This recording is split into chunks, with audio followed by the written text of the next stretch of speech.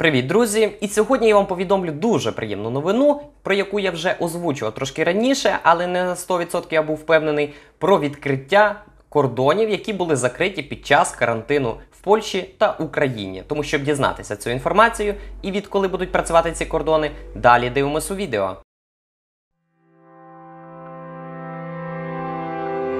А перед тим, друзі, як ми розпочнемо, хотів би вам порекомендувати приєднатися до нашої спільноти у Вайбері. Наші в Польщі, нас уже понад 10 тисяч учасників, де ми спільно з українцями ділимося своїм досвідом відносно легального перебування на території Польщі. Посилання ви зможете знайти в описі та в коментарі під цим відео. Ну а ми переходимо до кордонів.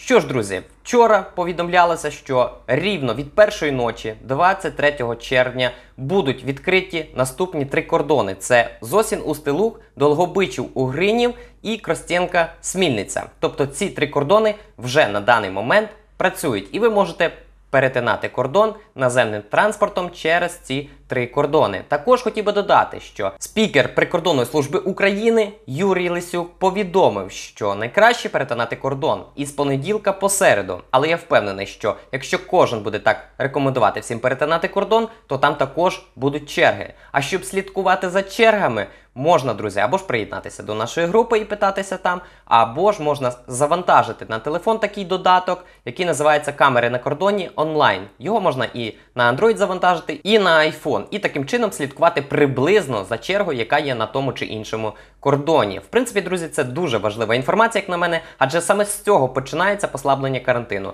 Ну і наступним вже моментом ми чекаємо, щоб наступний крок уже був відкриття кордонів для туристів. Тобто, в тому випадку, коли вже Європа зможе приймати і туристів із України, і вже в тому моменті нам не потрібно буде обов'язково робити запрошення для біометричного паспорта, щоб поїхати в гості або ж в туристичних цілях. Тому щоб це не пропустити, друзі, коли це станеться, рекомендую вам підписатися на мій канал. Ну і звичайно ставте лайк цьому відео, якщо інформація була корисною і потрібною. Ну а наразі, друзі, у мене все. Всім дякую за перегляд та побачимось до наступного відео.